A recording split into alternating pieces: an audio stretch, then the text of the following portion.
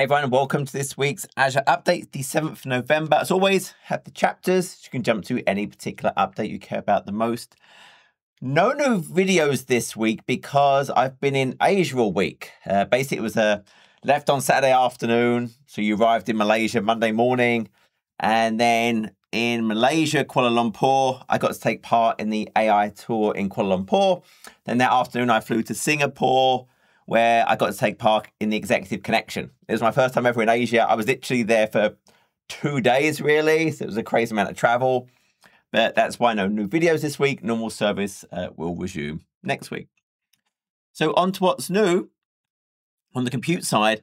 So, the HBv5 virtual machines, so they're part of the high performance compute series VMs, are now in GA.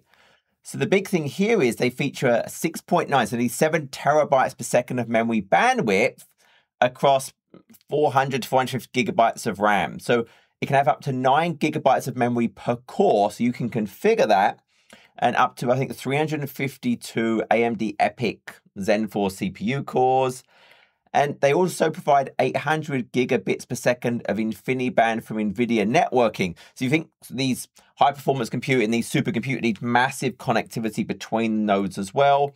And you get 15 terabytes of local NVMe SSD storage. So basically, super powerful, high memory, very high performance, very high connected uh, series of virtual machines. On the networking side, so for ExpressRoute now has this resiliency validation in GA. And this means a few different things. So one of the things you can now do is test failovers for connections to your gateway. So you can think about, hey, I have my gateway, my virtual network, and I connect it to n number of ExpressRoute circuits.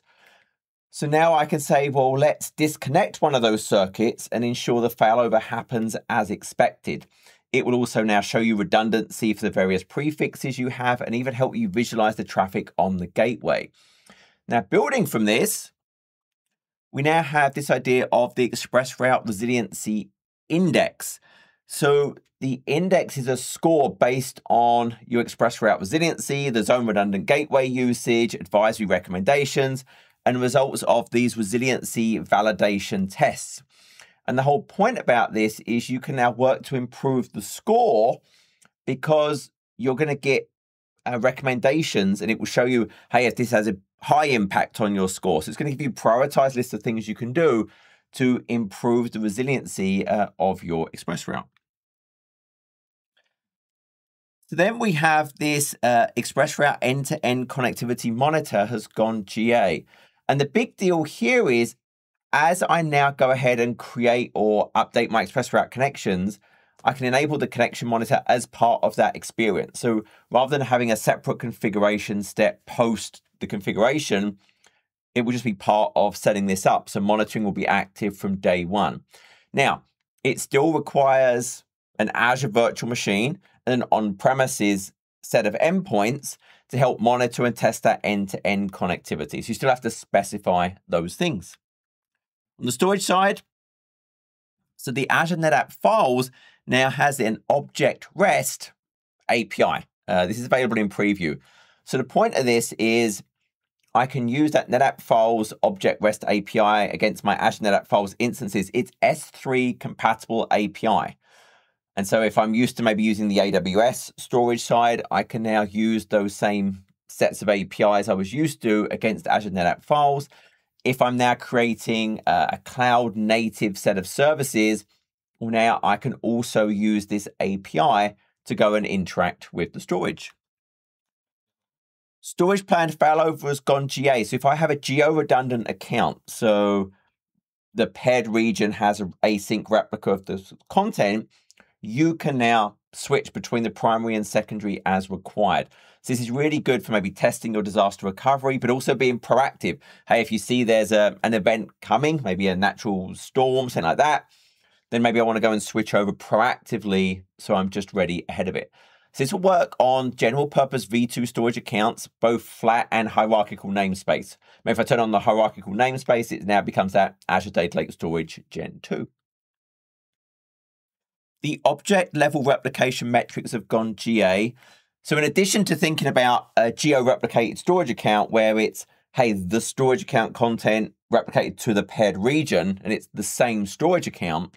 With object level replication, I can replicate at a container level or an object level to a storage account region of your choice. So it gives me a lot more flexibility compared to that fixed account level region pairing. So now there are metrics now in GA that will show me the pending operations and the pending bytes so I can understand what is the state of that replication. Now, both of those metrics are emitted in various buckets of time. So less than five minutes, five to 10 minutes, 10 to 15 minutes, etc. So it will show me how long the operations have been pending replication to that destination account. And for my Ultra Disk, remember Ultra Disk is the lowest possible latency, the highest performance.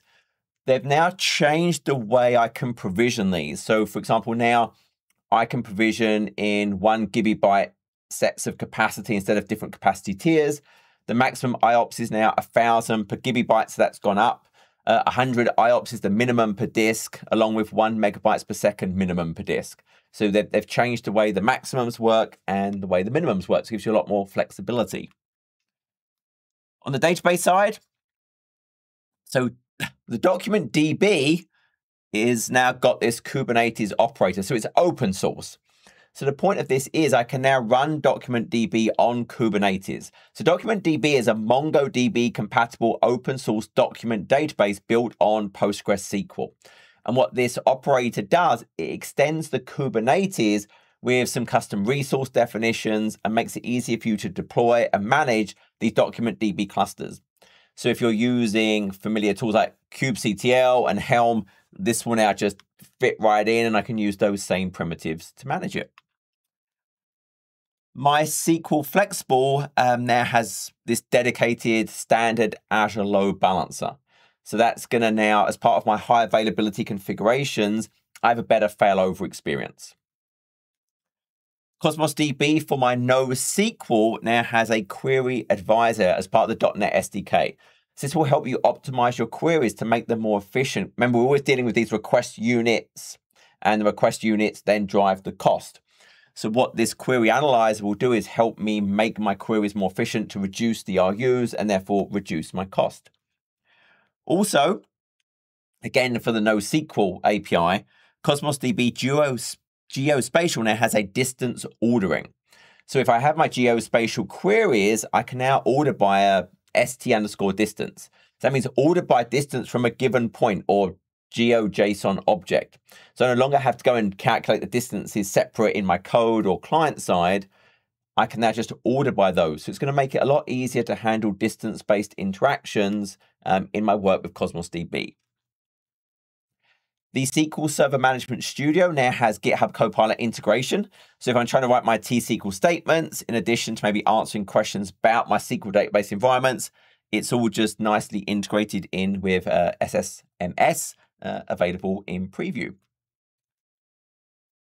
SQL Database Hyperscale now has multiple geo replicas available in preview. So remember, Hyperscale separates the compute and the page servers that gives me a higher potential scale, a higher potential performance capacity. I can now have multiple of those geo secondary replicas in my environment. And for SQL Database and Elastic pools, but not Hyperscale, I can restart my instances from the portal now. So if I go to the maintenance section of the portal, you'll now have the option to restart those databases yourself. And PostgreSQL Flexible now supports Premium SSD v2 for the read replicas. So the big deal here is SSD v2 lets me go up to 80,000 IOPS per replica. Remember, I can have multiple replicas. Actually, in a two-stage hierarchy, I can have a replica of a replica, so I can potentially have a, a lot of replicas in the environment. And finally, the Azure Model Context Protocol server has gone GA. Remember, Model Context Protocol is all about a standard way to communicate with these services that can give additional knowledge, tooling, even prompts to my AI application. But additionally, that MCP server reflects its capabilities in a manner that is understood directly by the generative AI models. I don't have to try and explain what that MCP server can do. So now Azure has an MCP server to help your AI applications, including things like GitHub Copilot, uh, work with the Azure services. And that was it. Pretty quick update this week. As always, uh, have a great week, have a great weekend. And until next video, take care.